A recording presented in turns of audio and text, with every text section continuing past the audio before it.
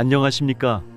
정성산 TV입니다. 북한 당국이 해외에 파견된 자국 노동자들의 인원 파악에 나서는 한편 행방불명된 노동자들의 행적을 전수조사 중인 것으로 알려졌다. 정성산 TV 좋아요 구독 알림은 큰 도움이 됩니다. 후원해주시는 고마운 모든 분들께 가열차게 멸공.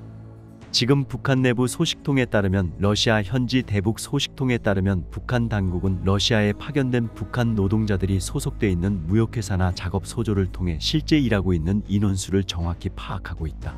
그러면서 행적이 불분명한 인원이 있으면 언제부터 보이지 않았는지, 탈북을 돕는 한국인이나 외국인과 접촉하지 않았는지, 탈북해 한국에 들어갔는지 등을 조사하고 있다.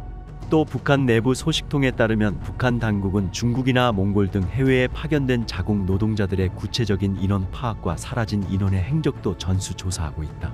이런 가운데 북한 당국은 행방불명된 노동자들이 탈북해 한국에 입국한 사실이 확인된 경우에는 북한에 남아있는 가족을 처벌하고 있는 것으로 전해졌다. 해외에서 5년 넘게 일하다 2년 전 탈북해 국내에 입국한 A씨는 최근 북한 보위부가 고향집을 찾아가 부모님을 잡아갔다며 자식이 한국으로 간 사실을 알고 있었냐고 윽박지르고 취조하더니 결국 아버지의 당원 자격을 박탈했다고 전했다.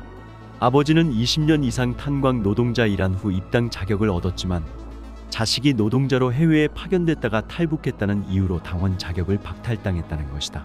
이에 A씨는 부모님은 요즘 같은 세상의 당원증으로 무슨 덕을 보겠냐며 신경 쓰지도 말라고 하시지만 죄송한 마음이라고 말하기도 했다.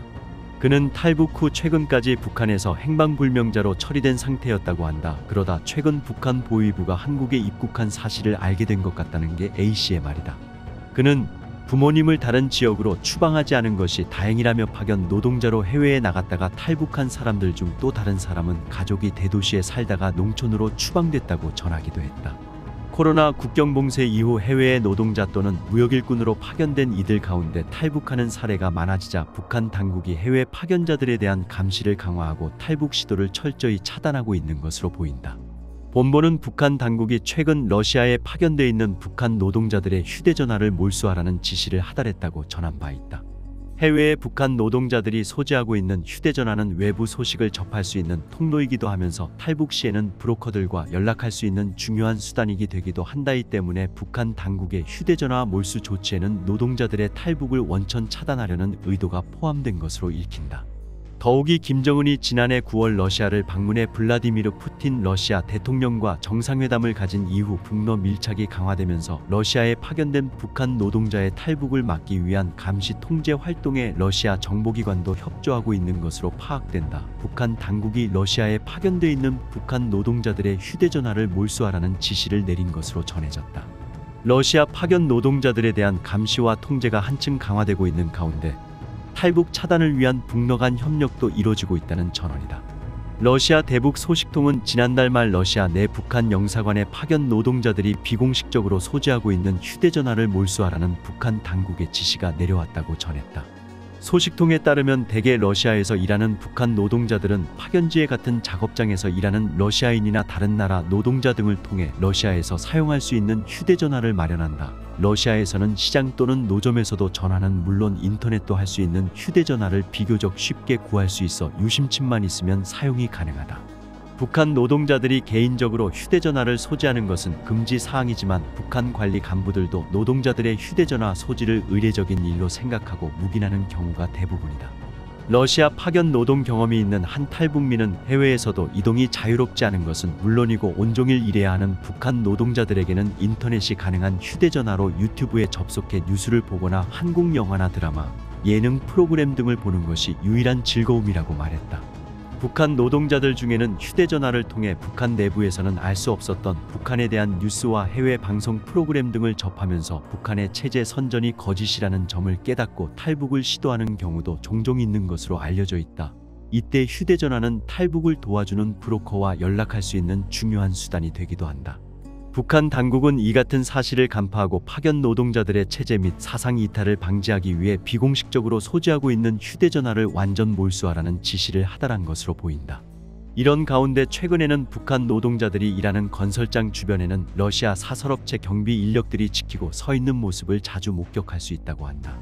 소식통은 과거에는 작업이 없는 일요일이면 북한 노동자들이 인근의 시장이나 식당을 갈 수도 있었지만 지금은 외출을 일절 허용하지 않고 있다며 더욱이 작업장 주변을 러시아인 경비들이 지키고 있어 노동자들이 잠시라도 밖으로 나갈 수 없는 상황이라고 전했다. 이에 더해 북한과 러시아의 밀착이 강화되는 분위기 속에서 러시아에 파견된 북한 노동자들을 감시하고 단속하는 사업에서의 북러 간 협력도 그 어느 때보다 활발하게 이루어지고 있는 것으로 알려졌다. 북한 노동자의 탈북을 막기 위해 북러 양국이 긴밀하게 공조하고 있다는 얘기다. 소식통은 북한이 러시아에 나와 있는 노동자들의 탈북 시도 문제를 심각하게 보고 있다며 어떤 경우에도 탈북이 이루어지지 않도록 통제를 강하게 하고 있고 러시아 경찰, 정보기관과도 연계해서 작업장을 이탈하거나 탈북을 시도하려는 경우가 발각되면 바로 체포해 북한 보위부에 연락한다고 말했다. 최근 중국에 구금되었던 탈북민들의 북한 송환 소식이 계속 보도되고 있습니다. 중국은 코로나 시기에 3년간 구금한 것으로 알려진 탈북민 2천여 명 중 500명에서 600여 명을 지난해 10월 항저우 아시안 게임 폐막 다음 날 기습 북송시켜서 국제사회의 맹렬한 비난을 받았습니다. 이후 탈북민 북송이 주춤해졌다가 지난달 말 다시 재개되어 200여 명의 탈북민이 북송되었다는 뉴스가 나왔습니다. 최근에는 해외에 나와 있는 북한 사람들의 남한 입국이 늘고 있어서 이를 막기 위해 남한의 해외 대사관이나 대표부에 대한 테러 계획을 세우고 있다는 뉴스도 있었습니다. 탈북민 북송이 국제사회에서 인권 문제로 규탄받고 있는 것은 북송된 탈북민들에 대한 북한 정부의 가혹한 처벌 때문입니다. 북한은 탈북을 조국 반역죄로 규정하고 가혹한 형벌을 부과하고 있습니다. 탈북민들에 대한 형벌 수위는 김정은 정권 들어와 더욱 높아졌습니다. 이전에는 배가 고파 탈북한 사람들은 노동단련형으로 처리했지만 지금은 경제적 이유의 탈북도 무조건 교화형을 부과하고 있고 더욱이 남한행을 시도한 사람은 정치범 수용소로 보내고 있습니다. 문제는 이렇게 가혹하게 단속, 처벌함에도 불구하고 북한 주민의 탈북 의지가 꺾이지 않는다는 데 있습니다. 북한 당국도 한번 탈북한 사람은 붙들어 와도 반드시 재탈북한다는 것을 알고 있습니다. 그들이 원래 질이 나쁜 사람이기 때문이라고 생각하는 사람들도 있습니다. 그러나 북한 밖에서 살아보면 왜 그런지 이해가 될 것입니다. 중국에서는 탈북민들은 불법 체류자로 항상 경찰의 눈을 피해서 아슬아슬하게 살아야 하지만 그래도 북한에서 사는 것에 비하면 훨씬 낫습니다. 북한처럼 끼니를 걱정할 필요도 없고 뗄 것이 없어 추위에 떠는 고생도 없습니다. 전기가 없어 깜깜한 세상에서 사는 고난도 없습니다. 북한 주민들이 그렇게 보고 싶어하는 영화나 드라마도 마음대로 볼 수 있습니다. 그저 가장 힘든 것은 중국 경찰이 불법 체류자를 너무 심하게 단속하기 때문에 마음 놓고 살지 못하는 것입니다. 탈북민들이 북한으로 끌려가면 감옥에서 고생은 두말할 것도 없고 감옥에서 나간 후에도 살 방도가 없습니다. 그래서 중국의 탈북민들은 북한으로 끌려가지 않기 위해 다시 남한행을 결심합니다. 김정은 정권이 들어선 직후 북한은 탈북민들을 재입국시키기 위한 정책을 폈습니다. 그리고 그들을 내세워 남한으로 간 탈북민들의 비참한 생활에 대해 크게 선전을 했습니다. 그러나 이 정책은 실패로 끝났습니다.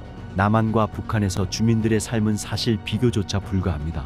탈북민들은 남한의 빈손으로 들어왔기 때문에 들어와서 모든 것을 새로 시작해야 합니다. 재산도 영으로부터 시작해 모아야 하고 북한에서 배운 것이 너무 부족하기 때문에 교육도 새로 받아야 합니다. 그러나 국가에서 주택을 임대해 주고 직장에 들어가 일을 할 때까지 생계비를 지급해 주기 때문에 밥 굶을 걱정은 전혀 없습니다. 탈북민들은 24시간 전기가 오고 더운 물 찬물이 펑펑 나오고 북한에서 그토록 보고 싶었던 드라마를 실컷 보는 것만으로도 행복해합니다. 물론 살다 보면 잘 사는 사람들이 눈에 보이고 상대적 가난에 마음이 상할 때도 있지만 북한의 고향 사람들과 비교하면서 자신을 달랩니다. 북한과 달리 자유를 보장받는다는 것이 가장 중요한 차이지만 말로 설명해서는 이해하기조차 어렵습니다. 오늘날 교통과 통신이 발전하면서 인생을 바꾸기 위해 가난한 자기 나라를 떠나 선진국으로 가려는 이민자들이 대규모로 발생하고 있습니다. 그런 이민자들이 대규모로 발생하고 있습니다. 대부분 이들은 자기 국가에서 떠나는 것은 자유이지만 선진국에서 받아주지 않아 목숨을 걸고 있습니다. 하지만 북한만은 국가가 탈북을 못하고 해서 주민들이 목숨을 걸고 있습니다. 왜 북한 주민들이 목숨 걸고 탈북할까? 북한 당국은 탈북민들을 처벌할 것이 아니라 나라를 떠나게 만든 자신들부터 처벌해야 할 것입니다. 정성산 TV 좋아요, 구독, 알림은 큰 힘이 됩니다. 후원해 주시는 모든 분들께 가열차게 멸공.